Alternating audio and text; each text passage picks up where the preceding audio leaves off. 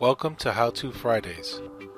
This guide will show you how to detect permissions delegated to the group Everyone on your file server using native tools. Now decide which shared folder you want to check for delegated permissions. Now let's edit the given PowerShell script using PowerShell.ise.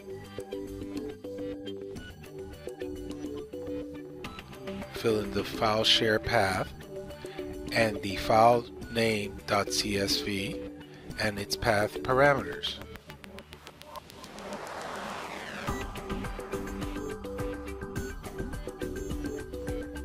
Run the script.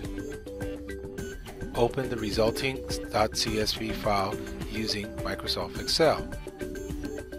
And here we can see all the permissions granted to the group everyone on our file server. Remember that in accordance with IT security best practice, the group everyone should not be given full control access to anything. Using the same script, you can check any user or user group permissions on your file server just by entering their given name instead of everyone.